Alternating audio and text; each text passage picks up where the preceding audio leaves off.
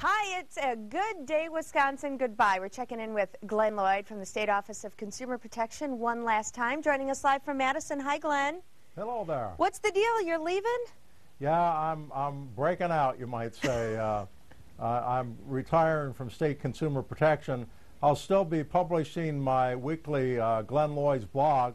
You can get the latest news and uh, consumer protection news about scams you can sign up for the no-call list on, on my blog. Just Google Glen Loyd's blog, and, and you'll still get to see me. Glen, how many years have you been doing this? Well, I've been uh, appearing on television for more than 40 years.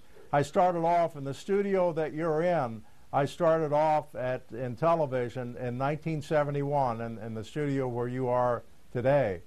And uh, I just can't thank uh, TV 11 enough for uh, having me start my career there, and uh, I worked many years there. Of course, we have been talking for about the past decade in the morning show. Right, and I remember about 10, 12 years ago doing a story with you, looking back on all the stories that you had done here in Northeast Wisconsin uh, for consumers and protecting their rights. Is there any story that stands out in your mind that, that, that uh, you think was the highlight of your career?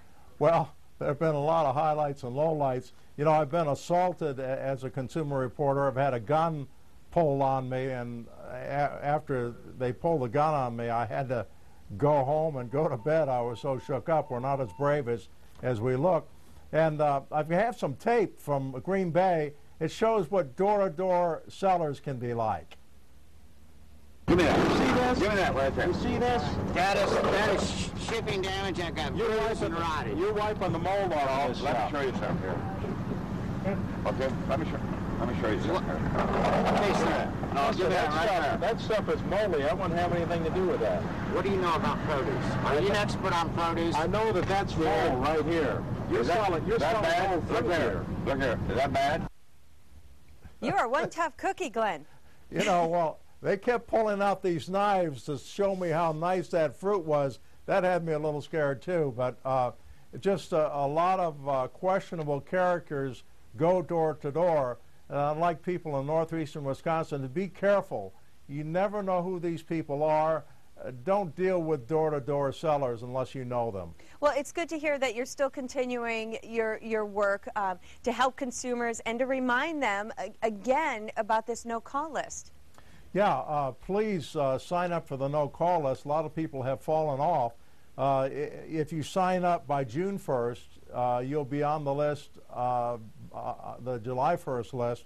Simply call 866 966 2255 or go to nocall.wisconsin.gov. You know, again, I'd like to thank TV 11. you do so much to help consumers. I appreciate that. And your viewers. You know, every time I'm on, your viewers will call and email me wanting to warn other people about a scam that they're aware of.